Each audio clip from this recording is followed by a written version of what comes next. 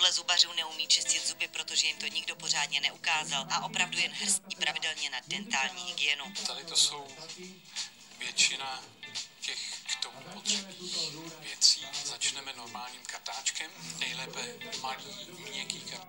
Ty pohyby, které by měly být u toho čištění, není šoupání sem a tam. A já tomu říkám takový lehký Parkinson. Malé vibrační pohyby a pomalinku jet podél těch zubů. Přiložení přibližně ve stupnu asi 45 stupňů. Je potřeba cítit, jak ty štětinky jdou lehce mezi zuby dásy. To je to nejdůležitější místo, až vlastně ujedete celou celou čelist.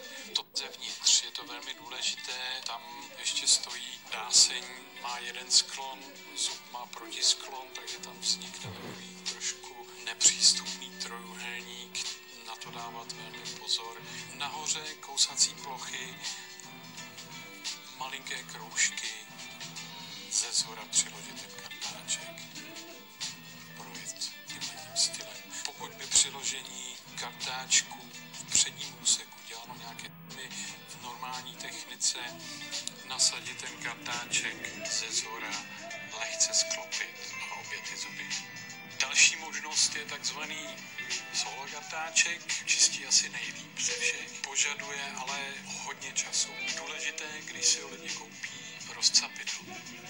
U toho je důležité, co, co nejvíc do vějíře o to lépe pracuje, zase přiložit na zub, lehce zapnout dolů mezi zub a dáseň a pak zase malé vibrační pohyby kolem toho zubu, obět celý zub, další. Další důležitá pomůcka mezi zubní kartáčky, kde vzniká skoro nejvíce kazů v mezizubní prostoru, lze jinak vyčistit. Mezizubní kartáčky zasunou se do mezizubí, většinou jsou dávány moc malé.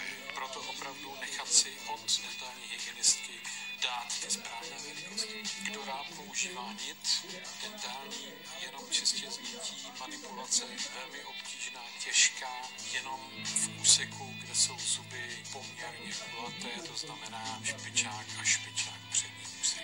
V zadním úseku zásadně zubní kartáčky. Pokud někdo má elektrický, ta samá technika jako u manuálního. V se kromě zubů nachází i jazyk, ale ten dentista čistit nedoporučuje. Ústní tkáň se obnovuje velice rychle, takže samo odbourává ty buňky velice rychle zase ten povrch jako se čistící.